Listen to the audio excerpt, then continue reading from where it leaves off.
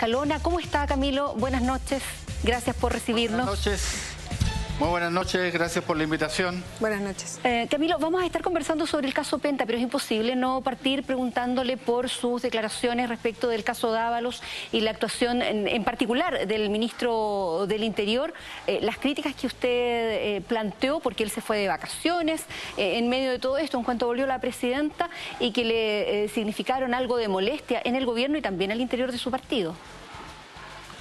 Mire, yo creo que eso no tiene ninguna relevancia. Lo que importa acá es que el sistema político tiene que ser capaz de dar una respuesta y para eso hay que mirar la situación con la crudeza que tiene.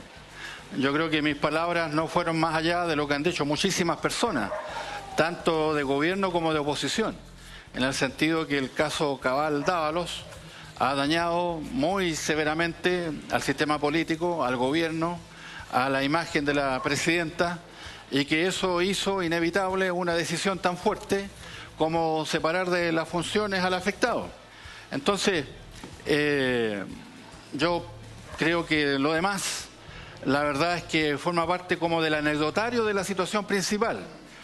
Y yo me alegro haber asumido la responsabilidad en un momento delicado en que los dirigentes políticos tienen que ser capaces de opinar y de ser capaces de dar una opinión cuando hay un momento difícil, de haber eh, señalado que no había ninguna posibilidad de que mm. don Sebastián Dávalos continuara con su función en el Palacio de la Moneda y que se tenía que ir.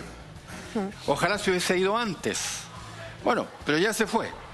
Así que eh, creo que asumí la responsabilidad que me correspondía y lo que viene ahora es ser capaces de lograr que el sistema político dé una respuesta a un problema tan difícil como el que se ha generado. Senador. De un eh, severo deterioro de la legitimidad de la acción política frente a la ciudadanía. Para eso tenemos que ser capaces de encontrar los caminos adecuados que indiquen que efectivamente hay una voluntad de resolver y de corregir, de rectificar y de sancionar los fenómenos que se han producido y que tan irritado, tanta irritación han generado en la opinión pública. Camilo, bueno, yo me he quedado pegada, le decía senador. Camilo, eh, antes de entrar a eso, a lo que viene, a mí me gustaría que usted profundizara haciendo un análisis de cuáles son los costos que usted cree va a pagar la presidenta Bachelet a propósito del caso Dávalos. Pero no nos conteste de inmediato, tenemos que hacer una pausa. Aquí nuevamente volvemos con la conversación. Y nuevamente seguimos conversando con el candidato a la presidencia del Partido Socialista, Camilo Escalona. Camilo, antes de irnos a comerciales, gracias por esperarnos, yo le preguntaba un análisis suyo respecto a los costos para Michelle Bachelet después del caso Dávalos. Mire, yo creo que la respuesta es bastante directa porque tenemos una prueba de ello hoy en los medios de comunicación. El actual senador Moreira ha señalado que lo que él hizo lo hacen prácticamente todos o sea, se ha generado un, un, clima, un, ambiente, y, peor eso, una, una idea de que las eh, prácticas irregulares son comunes al conjunto del sistema político. Es decir, en otras palabras, se instaló el empate. Así que yo, desde ese punto de vista, creo que el, el costo, como usted le llama, si lo pudiéramos mencionar de esa manera, es eh, incuantificable del punto de vista del enorme esfuerzo que habrá que hacer con el propósito de restablecer plenamente la, legitimidad, eh, el valor, la autoridad de la política como, como una acción y un valor esencial para vivir en democracia. Yo le preguntaba, además, entiendo su análisis, pero le preguntaba también específicamente por la presidenta, y lo hago por una razón bien, eh, bien fija. Ella tiene un, respaldo ciudadano impecable. Desde que salió de su anterior gobierno, todo el tiempo que estuvo afuera, volvió como candidata obvia porque era la persona que concitaba este interés, esta cercanía, en fin, usted conoce todos los atributos que tiene. Y presentó un programa de reformas que era bien agresivo, era cambiar varios de, la, varios de las formas en que vivimos como chilenos. ¿Cuánto es el costo entonces para ella en específico asociado a eso, a lo que, a lo que pretende buscar en este gobierno que lo que busca es hacer cambios? Bueno, lo que ha ocurrido ya lo indican dos, dos encuestas, que disminuyó su popularidad. Incluso el presidente de mi partido, diputado Osvaldo Andrea, ha señalado que pensaba que iba, a ser una disminución mayor de la que las encuestas reflejaron.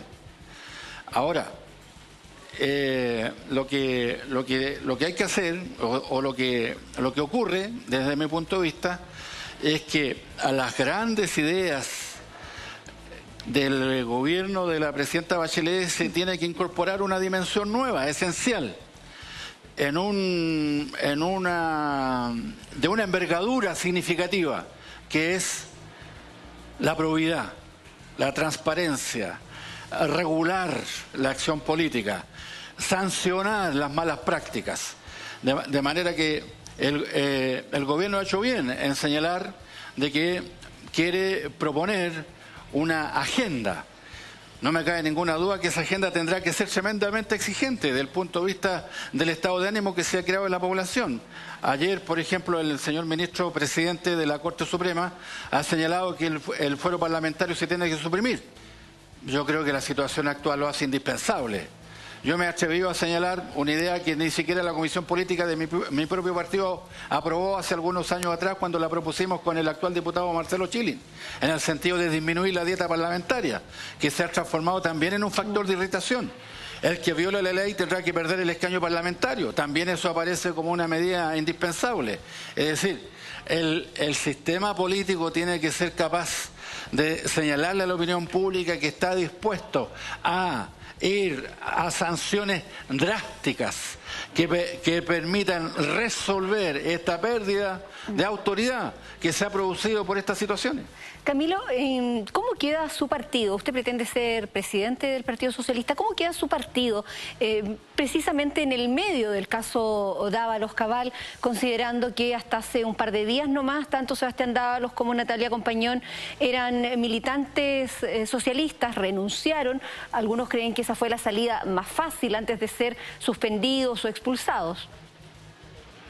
Bueno, yo creo que para el Partido Socialista es una situación dolorosa eh, no cabe ninguna duda que tiene eh, connotaciones de un eh, efecto que no, no, podemos medir. El, Partido Socialista ha atravesado por situaciones muy difíciles, sobre todo en tiempos de dictadura. Nos sobrepusimos muy difícil y dolorosamente. En la sede del partido, en la calle París, hay un memorial con centenares de víctimas de, la lucha del Partido Socialista, ejecutados políticos, detenidos, desaparecidos, en fin.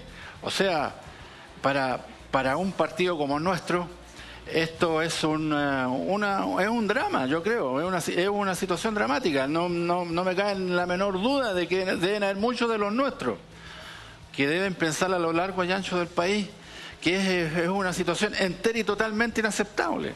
La mejor salida para el PS y para los propios Dávalos y Compañón fue la renuncia, Camilo. ¿Perdón?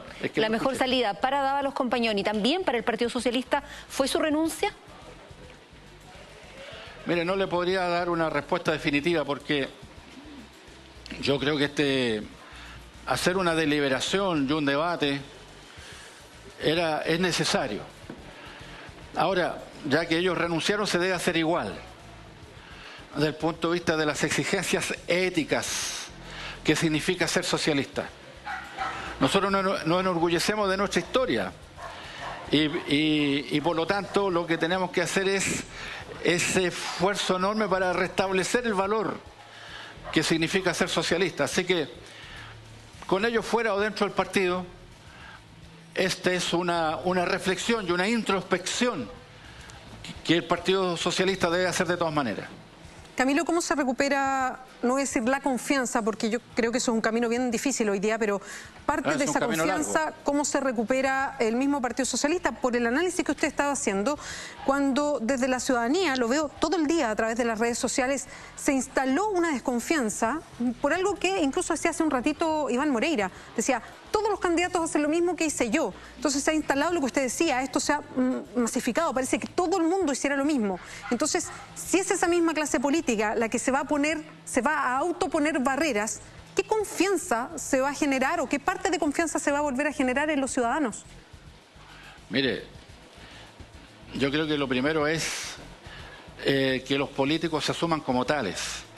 Porque yo conversaba un momento antes de esta entrevista con un, con un amigo que me acompaña acá, don Pedro Montalva, eh, concejal de Ile Maipo, y entonces conversábamos de que eh, hay, es habitual escuchar dirigentes políticos que se refieren a la política como una tercera cosa. Y hablan de los políticos cuando ellos mismos son políticos. Y hablan de la política como una cosa ajena cuando es su actividad principal. Entonces, las personas que se avergüenzan del ejercicio de la política no pueden seguir en la actividad política. Segundo, los aquellos que quieran medrar, aprovecharse de la política en beneficio personal, que no lo hagan. Por una razón muy simple, porque la conducción del Estado depende de la política. Y la, la salud de la democracia exige una buena política. Entonces, aquellos que tienen una distorsión de valores deben alejarse de esta actividad porque en definitiva la estabilidad institucional de los países, el propio progreso de las naciones, dice relación con prácticas sanas, en que las personas que se involucran no buscan el enriquecimiento fácil, sino que tienen una vocación que es la que les lleva a ejercer esta actividad que es la política. Entonces, nosotros yo creo que desde hace ya varios años no hemos tenido el coraje de enfrentar un problema muy de fondo que es el que se ha producido, que es la, política espectáculo, el, pensar que esta actividad simplemente tiene un sentido casi de entretenimiento personal. Entonces, hay no solamente medidas jurídicas o legislativas que se tienen que tomar, sino que además se tiene que deliberar respecto del sentido de fondo que tiene la política, que tiene que entenderse como un trabajo en beneficio de la comunidad y no al revés, que es lo que muy dramáticamente indica en estos muy Camilo, Camilo Escalona, en esta jornada que se han vivido. En esta jornada, el secretario general de la OEA, eh, José Miguel Insulza, eh, se encuentra en Santiago, estuvo entregándole su apoyo ahí para las elecciones internas del Partido Socialista, pero también habló del caso Dávalos. Lo invitamos a escuchar y a ustedes, por cierto, a ver lo que dijo. Yo creo que la prensa está ejerciendo lo, que, tiene que hacer, tiene que ir hasta el fondo de las cosas. Muchas veces va más adelante, muchas veces la prensa va, adelante, los tribunales de justicia en estos asuntos. Creo que no hay que tenerle miedo al pleno conocimiento de la verdad, sobre todo cuando uno no ha, tenido, cuando las personas que no han tenido nada que ver en esto.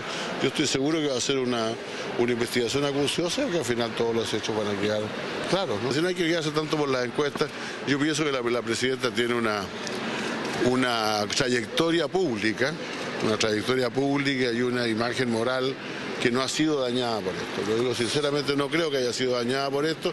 Yo creo que ella debe seguir adelante con la misma, con la misma fuerza con que ha estado hasta ahora y que esta situación difícil, triste, como ella lo ha dicho incluso desde un punto de vista familiar, ella la va a superar bien. El daño más bien de todos estos casos al mundo de la política en su conjunto. No hay que fijarse tanto en las encuestas, decía José Miguel Insulza, pero es difícil pensar en dejar de lado las encuestas cuando se marca un 39% de apoyo. ¿No más Camilo Escalona no? Por favor, no nos conteste. Tenemos que hacer un alto y ya estamos de regreso.